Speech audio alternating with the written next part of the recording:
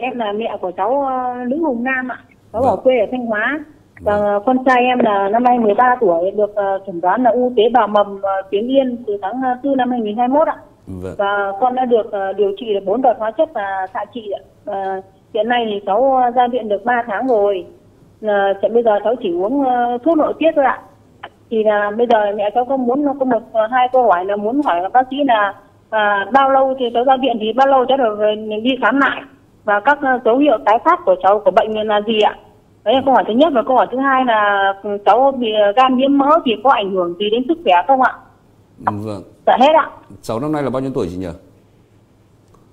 Cháu uh, cháu 10 tuổi ạ. 10 tuổi. Vâng. À, với câu hỏi của chị thì Dạ. chúng tôi xin vâng chúng tôi xin được kết nối với bác sĩ Đỗ Cẩm Thanh Ờ, sẽ kết nối trao đổi trực tiếp với chị.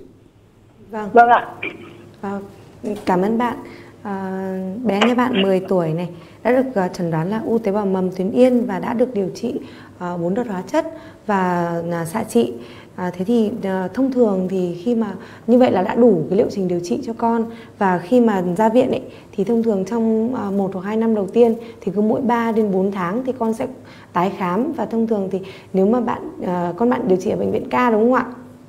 Vâng ạ. Vâng, thế thì à, chắc chắn là các bác đã đã có những cái hướng dẫn là à, sau khoảng 3 đến 4 tháng thì mình sẽ được à, những cái giấy hẹn bảo hiểm và mình có thể mình quay lại tái khám tại à, phòng khám của bệnh viện ca. Thế thì à, qua mỗi cái lần thăm khám ấy thì ừ, các bác sẽ thăm khám những cái dấu hiệu lâm sàng cho con và ngoài ra thì sẽ chụp à, à, MRI sọ não để xem xem cái tình trạng khối u à, có ổn định à, không và ừ, à, con thì hiện tại đang còn uống thuốc nội tiết.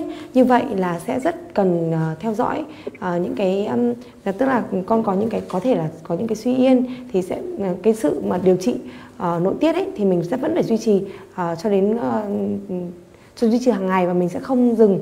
À, ngoài các cái dấu hiệu của à, tái phát thì với những bệnh lý u tế bào mầm nội sọ à, có các cái chỉ điểm u à, như là alpha P và beta HCG thì à, qua mỗi một lần thăm khám thì các bác sĩ sẽ làm xét nghiệm máu cho con để kiểm tra xem là các cái mắc cơ này có tăng hay không. À, nếu à, tăng thì nó cũng có thể là dấu hiệu của à, tái phát. Ngoài ra thì cái việc chụp MRI à, sọ não thường à, hàng hàng à, mỗi 4 tháng à, thì cũng à, giúp cho cái việc chẩn đoán à, những trường hợp mà tái phát.